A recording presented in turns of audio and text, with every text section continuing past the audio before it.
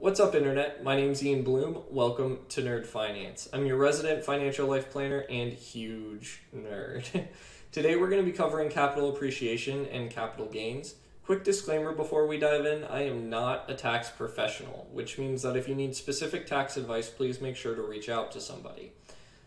That said, capital appreciation, we covered in our last video, is the act of an investment going up and being sold the capital gains that result from that are part of the IRS tax code. So it's basically how much the IRS is going to tax you. And there are different rates depending on how long you had the investment for.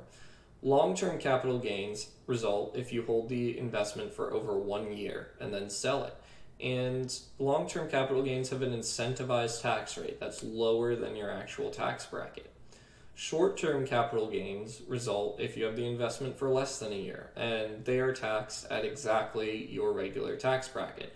So let's look at an example for the difference between the two of these. We're going to pull on our Nicol Bolas trading card from the last video.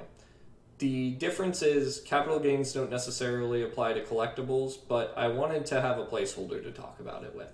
So let's say our trading card here is worth $100 and it represents any investment that we bought at $50.